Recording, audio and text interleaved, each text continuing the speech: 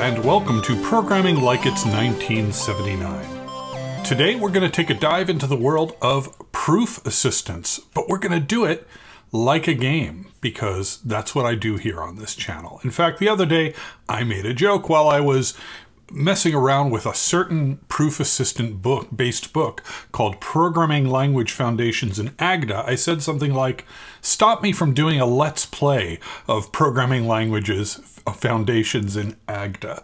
Well, here we are. And I'm not going to do programming language foundations, and I'm not going to do software foundations in Coq, which is another, probably the, the, the granddaddy of this type of course in the modern era. I'm going to be doing something called the natural number game. This is written in a proof assistant language called Lean. Uh, Lean on the surface looks like Coq with a lot nicer um, ergonomics. It's it's almost like if you took Haskell and added a bunch of sugar to sort of make it a little more uh, amenable for proofs. That that's kind of the mission statement of Agda. Maybe we'll take a look at Agda someday, but for right now, we're going our interface to the world of proof assistants is going to be through this game. You can, of course, play along if you want, or you can play it yourself. The URL for the game is right there at the tippy top of the screen, and I'm also going to leave it down in the program uh, notes. All you need is a web browser. They do suggest Chrome, but Safari should work also. Uh, although this game is it played entirely within your browser? One of the reasons I was doing this is I wanted to know more about Lean as a language. And I want to assure you, you can, in fact, type the uh, the exercises here into your text editor into a, a, lean environment and it will work. What they've done here in the browser is is nothing short of uh, amazing. And that's one of the nice things about lean is it's really designed from the get-go to be able to be run in a browser environment or in a more traditional editor environment. There are a few minor differences between the the uh, the the proof assistant web version and the one you would get running in an environment. So over here, what you're looking at is my editor on the left. You could see I have a cursor here on this line. And on the right-hand side of the screen, you should see something that says tactic state, one goal. That shows you the thing I'm trying to prove. And then as I move through the proof, it shows you the current state of the proof until we reach the end. And the end here is actually uh, uh, something where I've written sorry, which basically means admit this proof. I'm not actually going to do it. All right, let's go. And I, all I'm going to do here, I don't want to spoil the entire game because I think it's it's worth playing. I'm going to just go through the first few levels. I'm going to go through the uh, the tutorial, probably the addition levels, and we'll see how we feel, maybe the multiplication levels too. Uh, but the game covers a number of things, including functional programming, propositions. Uh, it's, it's just great. Enough talking, let me get into the game. So on the right-hand side here, we have a map of the world, of the things you're going to be learning. And on the left hand is all of the text. So let's jump into the tutorial world here. And they're going to start introducing the tactics we're going to be using. So the first tactic they introduce is called REFL or reflexivity. And I'm not going to read all this text. You should do it yourself and actually read it and learn a little bit. So over here uh, on the right hand side, you can see our goal that we're trying to prove in this tutorial level is a lemma or a theorem um, called, uh, it's not, I don't think it's called example one, but the actual text of the lemma is x times y times z equals x times y plus z. Excuse me, x times y plus z. Um, well, obviously, we have the same thing on both sides of the equal sign. That sounds like it's already proven.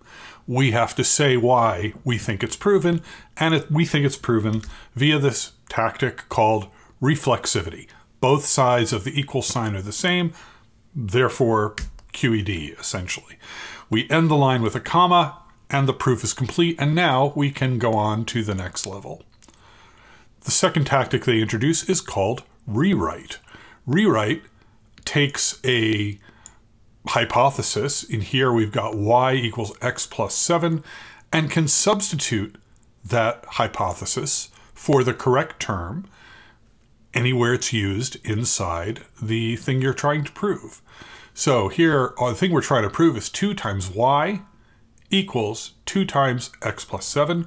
We know by this hypothesis that y equals x plus 7, so we're going to substitute x plus 7 in for this y.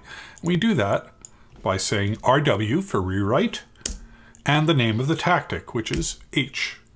And then we're going to end with a comma. Now we have 2 times x plus 7 equals 2 times x plus 7. Same thing on both sides of the equal sign. So we can say reflexivity. By reflexivity, this is proven.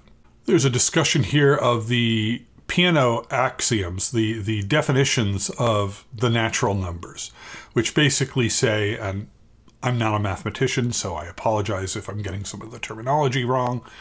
Um, there is a value zero, and then there is a value which is the number after zero, defined by essentially recursion or induction more properly.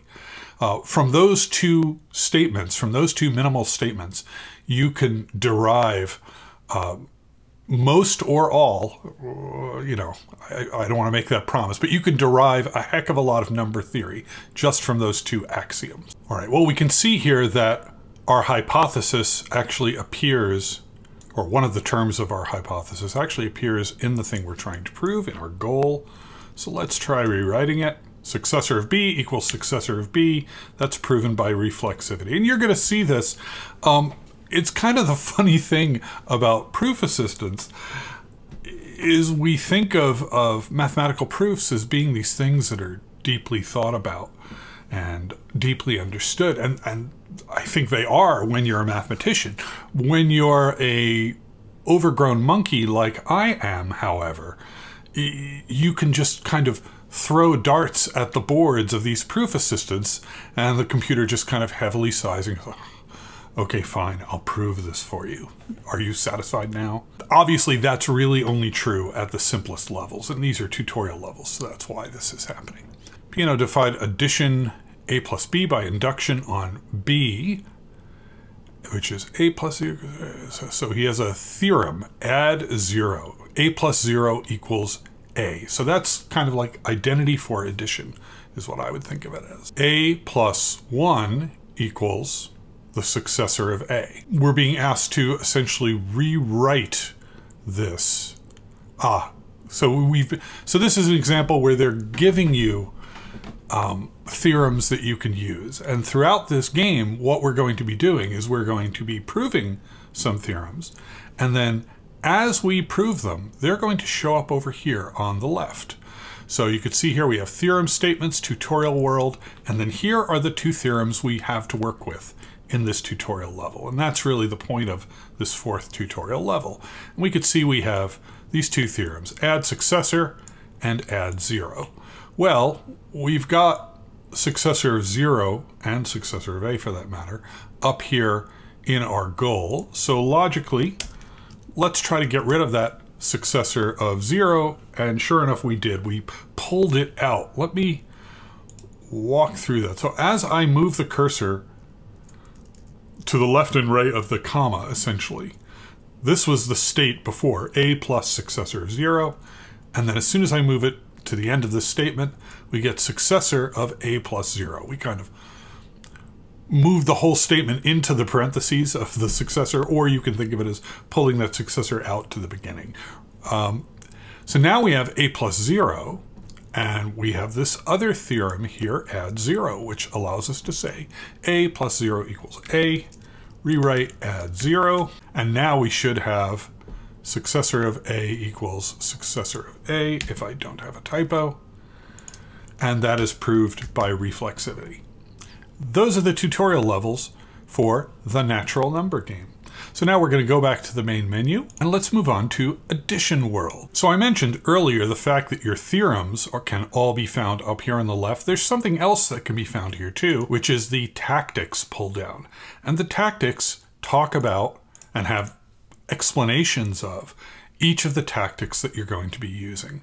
And I really like this. It's a quick reference both for the things just to tell you that they exist, but more importantly, it's giving you a brief explanation of what the computer is trying to do when you ask it to use one of these tactics. So I find this really helpful. As someone who's done some of these courses uh, before, it's very easy to view these things as just kind of magic incantations. And uh, despite what I was saying about being able to throw darts at the wall, the goal of all this is to gain an intellectual understanding of the natural numbers. And this helps you do that. So we're looking at Addition World. We're going to be talking a brief review of what we've got. And they, in fact, are recommending at this point that you read those tactic descriptions and read the theorem statements. But now we're going to start really getting into it. We're going to start by using induction, which is the first, I, I don't want to say it's the first really powerful tactic. Uh, certainly it's the first one that I think a layman would think of as more complicated. And the thing we're trying to prove here is 0 plus n equals n. Now, wait a minute. We have a theorem already that says a plus 0 equals a. So isn't that the same as 0 plus a equals a? Short form, no, it's not. Um, we have not yet established in this world with only these two Peano axioms, axioms and these theorems that addition is commutative. Um, so we haven't established that we can move things to the other sides of the plus sign and, and that they would, would mean the same thing. And so this is a step along that path. So let's, I'm not going to read all the text, and I really do encourage you to, to do so yourself. But let's, uh, let's take a look. So the syntax for induction, if I recall correctly, is induction. And then we're going to say what variable we want to run induction on. In this case, there's only one variable in the uh, in the, the goal, which is n. And then you can give it names um, for what you want it to use its as the inductive variables. And I'm going to say nhn for n and the hypothesis n. I'm going to type a comma. And again, let's go here to the instructions on induction, and you can see it gives that syntax there. If you get lost, that's how I got it. Um, and so up here, we could see that our one goal has changed into two goals. Let me go to the left and right of the comma again, right? This is what we're trying to prove, 0 plus n equals n, but when I say I want to do use induction on n, suddenly I have these two goals. There may be some syntax when you do, uh, this is essentially doing case analysis, right? We're doing, we're going to prove this for the case where n equals 0, and then we'll have an inductive hypothesis that is true if n equals 0, and then we're going to prove it for all other n, for essentially n plus 1. And then we'll use that inductive hypothesis in that proof of n plus 1. And once we've done that, we have proven it for all the natural numbers. That's the basic idea behind induction. Incredibly powerful tactic. Can be a little confusing because there's a little bit of the by your bootstraps or disappearing into a, into a universe of your own creation, but, but it does work, and that's what we're going to use. All right, so first we need to prove 0 plus 0 equals 0. Well, actually, we could just say reflexivity, and I believe that Lean, and in fact most other theorem provers, will simply do the calculation. Since there's no n in here, it's all concrete math, we can just use the definition of the math to reach this conclusion. But let's be um, uh, rigorous here, and we'll rewrite this using the add zero theorem. Now we have zero equals zero, and now we have reflexivity. So I'm new to lean. If I were doing this in Coq, certainly, uh, there's a syntax involving not indentation, I think bullets, that helps you keep track of which um, which subcase you're on. And I have not yet, I haven't read all the lean documentation, I'm going to confess. I haven't found that for lean yet. I tend to get confused. So what I have been doing is I keep track of which case I'm doing just with a comment. Uh, somewhere out there, someone who actually uh, is uh, is good at lean is rolling their eyes. But you know, like I said at the start, I'm not a mathematician. I'm just a layperson. So, All right, so now we want to prove our inductive, not our induction case. What have we got? 0 plus n equals n is our hypothesis, our inductive hypothesis. And 0 plus successor of n equals successor of n. Well, we've got plus successor of n. That always tells me that we probably want to use add successor. That has pulled successor of n out. Ah, and now we cannot use add 0 because we have 0 plus n instead of n plus 0. But we do have this inductive hypothesis. We can just use the rewrite command with h, our inductive hypothesis. That should rewrite it. Unknown identity, oh, hn. Right. And now we have the same thing on both sides of the equal sign reflexivity, proof is complete. That's the first level of addition world. So now we're going to prove, we still have not, by the way, proven commutativity of addition. All we've proven is that n plus 0 equals 0 plus n. Uh, but that's not the general statement yet. The goal of this level, of this, um, this world, in fact, is to prove uh, the commutativity of addition. But now we're going to prove the associativity of addition, which is a pretty powerful uh, theorem. And this is the idea that if you have three numbers, A, B, and C, it doesn't matter where you put the parentheses. You can group these however you like. Actually, am I wrong about this? I guess this is not an arbitrary. If I had 10 terms, uh, I, am not proving it for the general 10 or n term case. You're proving it for the three term case. But then you could apply it as many times as you need to move the uh, parentheses wherever you need. Uh, so, all right. What's our proof? Our proof is a plus b plus c equals a plus parentheses b plus c. All right, so we're going to use induction here. Uh, one of the things that I find, I've always found mystifying when doing software foundations is how do you decide which variable to do induction on? And what'll happen is, given some uh, thing you want to prove, you'll pick one of these variables to do induction on. And if you're me, you pick the wrong one, and it's incredibly difficult or possibly impossible to actually complete the proof doing that. You needed to pick the other. How do you know? Well, so this one, uh, in several places, I don't know if they do it in this level. In several places, this uh, game just tells you, PS hint, do induction on this variable. And unlike uh, most of the other one, other times I've encountered this, they actually give an explanation. And the explanation is something along the lines of, well, since the definition of this operation uh, is defined inductively on the last variable, you should do induction on that last variable. So I really appreciated having that explanation. It's not something that I had ever thought of. Uh, again, proving I'm not a mathematician. All right, let's try this. So let's let's. I'm just going to do. I don't think that you have to do induction on any particular variable here, but I'm going to do it. And my here's my logic. For I'm going to do induction on C. And my logic here is that C is inside that set of parentheses. So if I do induction on it, I'm going to get that C to turn into zero, which means I can simplify that term. I think since we proved zero add and add zero, it actually would work fine no matter what I did. So induction C with C and HC. All right, now we can rewrite it with add zero. All right, so if you look here, we can see that this rewrite tactic rewrote the first of those plus zeros, but not the second one.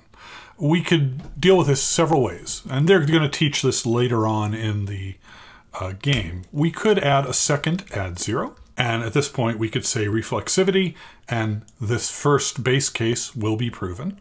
Uh, there's something else we can do one note, if you were doing this in your actual lean environment, lean would consider this proven at this point. applying the rewrite tactic would actually close out this goal.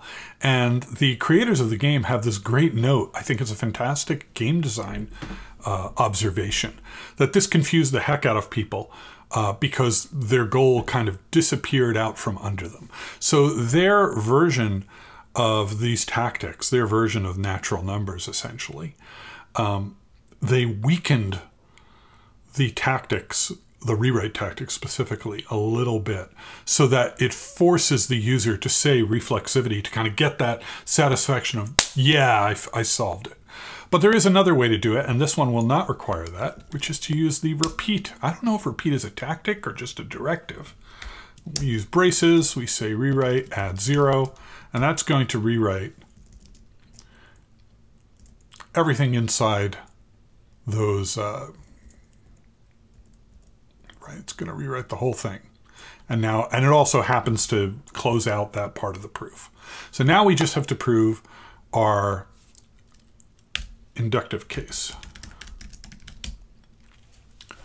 All right. So, by the way, I don't know if, I, I, sure hope this is readable. If it's not, boy, am I embarrassed. all the action here is happening up in the upper right part of the screen where it says goal. I probably should have said that 20 minutes ago. All right, so what have we got? A plus B plus successor of C. Uh, again, I'm going to apply add successor multiple times. What have we got? It looks like that. Oh, I need to move there. Okay, so now we have successor of A plus B plus C and successor of A plus parentheses B plus C. Well, that is our inductive hypothesis. So we can just rewrite. Um, let me show you another bit of terminology. If I say rewrite HC, what will happen is this will turn into this. Uh, but because I'm very type A, I, I would like my final reflexive hypothesis to have no parentheses in it. Um, or no internal parentheses, even though there's no reason for that. I just, it looks neater to me. Well, we can do that. We can substitute the other way so that this will turn into this. And the terminology for that, we're going to say rewrite, and we're going to say slash L for a little left arrow, and then the name of our hypothesis. So we're going to rewrite from right to left. And now we have the same thing on both sides of the equal sign, and our proof is complete. All right, we've proven associativity. Associativity. Successor add. You might know, let me, look, let me address the elephant in the room. Yes, I am reading these things as successor add rather than suck add. I'm sorry, yes, part of me is 12 years old also. Uh, but I figure if I keep saying suck, suck, suck, it's going to sound very silly. So I am going to read these uh, as successor rather than that, uh, just to keep you from giggling every time I read a theorem name. All right, for all natural numbers a and b, we have the successor of a plus b equals the successor of a plus b. So this is very similar to our add 0 and 0 add. We want to get the left to, left and right. Uh, we want to be able to, to, to substitute this no matter where successor uh, is being, no matter which variable successor is being added to. So let's see. All right, well, I'm going to try induction. Might not even be necessary, but let's give it a go.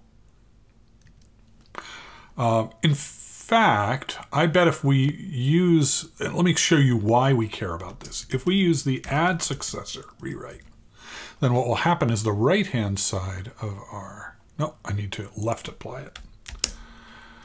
The right-hand side of our goal changes to m plus successor n, which is literally the opposite of what we're trying to prove here, right? Right, successor a plus b equals a plus successor b. That's not, that's not what we want. So let's do induction, which was our first, my first instinct. So we'll do induction b with b hypothesis of B. Is that really, is that the terminology? Should have stayed awake in a math class. Let's rewrite, let's repeat and rewrite all of our add zero stuff. Get rid of those zeros. And now we've proven the base case. So now we're going to do the inductive case. What have we got? Successor of A plus successor of B equals successor A plus successor B. Okay, so we have that plus successor B. And if I pull that out of the right-hand side,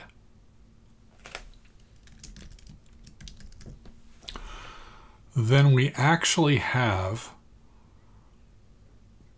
the the literal sub goal that's in our our uh, inductive hypothesis right there.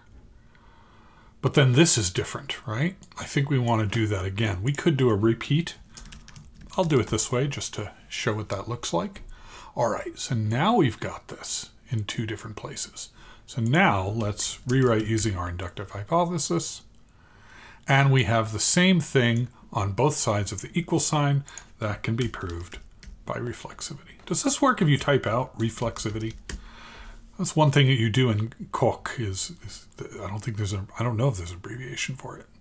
Certainly the uh, software foundations uh, class uses the spelled out word. Looks like it works. Okay. It can be even more. Uh, now I'm wondering, can I do this? I can. Ooh. Never pass up an opportunity to be verbose instead of being concise. Yeah, again, somewhere out there, the mathematician is shouting, no! Okay. Oh, and you might notice here if you rest the cursor on something, you actually get what looks like if you rest it at the end. That's weird. Okay, in this case, I'm getting a, a description of it, and over here uh, it feels like a little buglet. Ah, let's not worry about it. Onward, a plus b equals b plus a.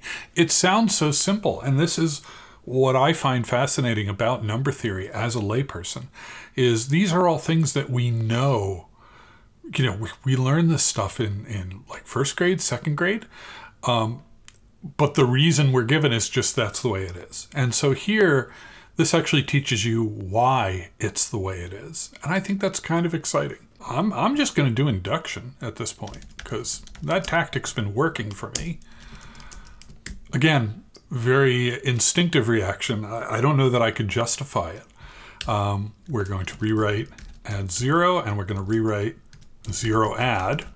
And the reason I'm saying that is that we've got zeros on either sides of the plus signs up here. So we'll rewrite both of those at that point. We can prove by reflexivity now we've got the inductive case. So what are we going to do? Again, we've got successor B plus A and A plus successor B. So we have the successor on both sides of the plus sign again. So I'm going to do the same thing I just did with zero, only I'm going to do it with the successors. To pull those out. And now I have a plus b and b plus a. I'm going to rewrite from the right to the left to change this b plus a into an a plus b. Let's do rewrite left hb and that did it. However, the game has, there we go, needed to think about it. That's commutativity. We've, we've won the game. It's all over. There's no more, oh, there are some more levels.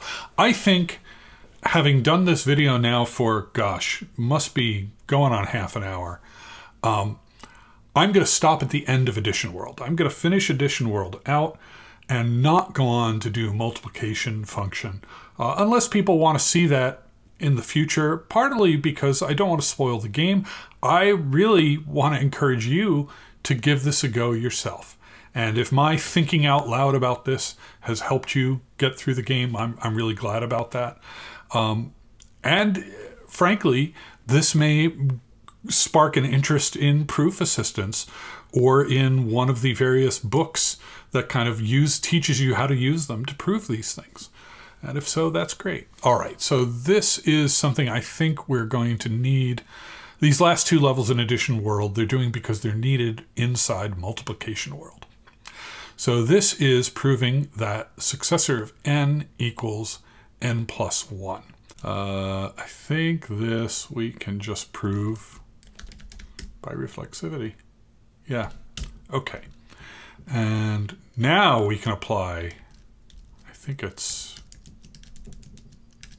that. Right, we have now that n plus 1. I'm going to rewrite mm, with our hypothesis, hn, right? Yes. And now we have the same thing on each side of the equal sign. Great. All right, last level coming up. Add right commutativity. Let's look at the definition here. For all numbers a, b, and c, a plus b plus c equals a plus c plus b. I don't think we even have to, do we have to do induction for this? I mean, we have addition is commutative. Why can't we just apply commutative, commutativity to do it? Let's see if there's a reason that doesn't work. What happens if we do that? Okay, that moved the C and the A. I think you can give arguments to these. Let's see if I'm right. No, no, it's not working. Right, I think I understand. Um, add commutativity only applies when the term you're trying to manipulate has only two terms in it. And right now, there are invisible parentheses in this term since addition is in lean left associative. There's a parentheses around that, a plus b, and then there's another invisible set of parentheses around a plus c. So we could swap a and b. That'll work. Let me show you. Add commutative. And that a plus b should turn into, yeah, we just swapped that with that. I think if I say a and b, that will change. Right, b plus a. So it's a little bit confusing. What we want to do, I think, is we could use a combination of commutativity and associativity to get what we want. So what I'm going to do is I'm going to rewrite, let's just rewrite add associative and see what that gets us.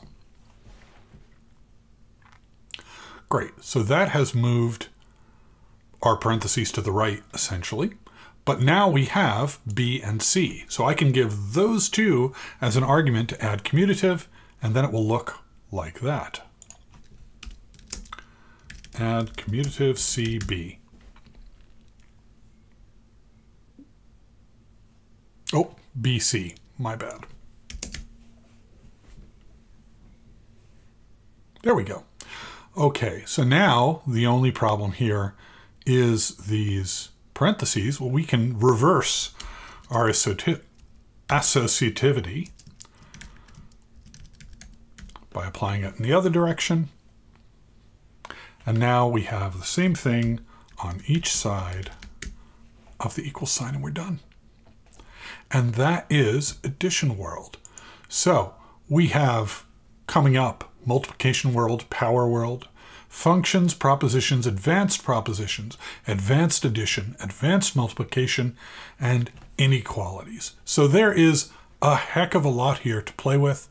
Um, the URL is up there. It's also, again, in the show notes. Please like, subscribe, add a comment. Um, it's still possible that I might actually do a Let's Play of Programming Language Foundations in Agda. If that's the sort of thing you'd like to see, please uh, leave a note and let me know. This has been Programming Like It's 1979. Thanks for watching.